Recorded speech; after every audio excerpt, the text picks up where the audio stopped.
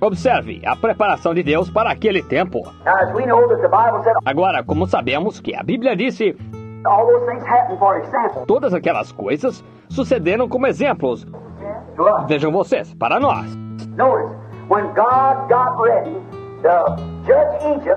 Observe, quando Deus estava para julgar o Egito, ele primeiramente fez uma preparação. O que fez ele ali na primeira vez? Ele nunca muda sua ordem. A primeira vez, quando ele, quando ele fez sua preparação, então ele enviou um profeta com uma mensagem. A primeira coisa que ele fez para seu povo foi enviar um profeta com uma mensagem.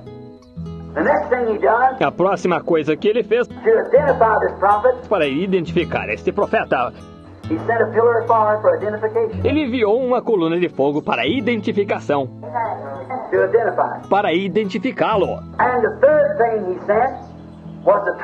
E a terceira coisa que ele mandou foi o sinal. Foi exatamente isso mesmo. The token. O sinal. What was the token mean? Qual era o significado do sinal? Segurança. Primeiro, seu profeta com a mensagem. Ele identificou a si mesmo entre o com uma com uma coluna de fogo com seu profeta. Então ele enviou um sinal para entrar sob este sangue de que ele tinha aceitado esta morte substituta em em seu lugar. Then the blood was a token that he looked. Então o sangue era um sinal que lhe olhou. De que você tinha ouvido a mensagem, crido na coluna de fogo? E tinha aceitado o substituto que ele havia provido para você. E você estava sob o sangue da própria química da vida que foi entregue por você. Que coisa, que perfeito. Que coisa perfeita é essa? Veja, você está sob o sangue. Agora você está sob o Espírito, sob o Espírito Santo. Está vendo?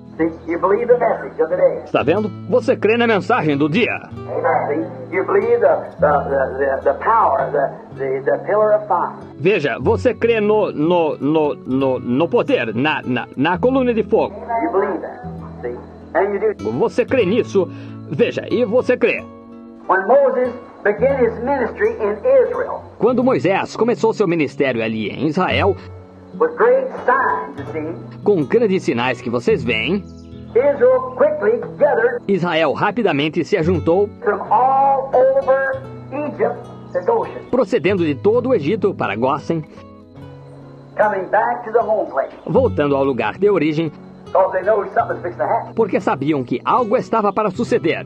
Oh, what a type. Oh, que tipo! Oh. Oh, eles vêm do leste e oeste, They come from the lands afar. eles vêm de terras longínquas. That's right, you heard the song. Isso é correto, vocês já ouviram este hino.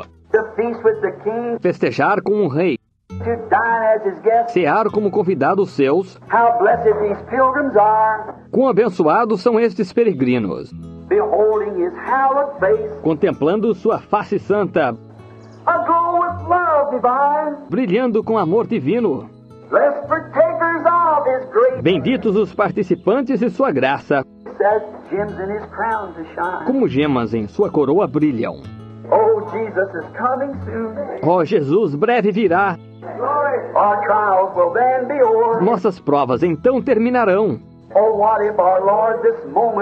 Oh, que seria se nosso Senhor nesse momento viesse? Buscar aqueles que estão livres do pecado?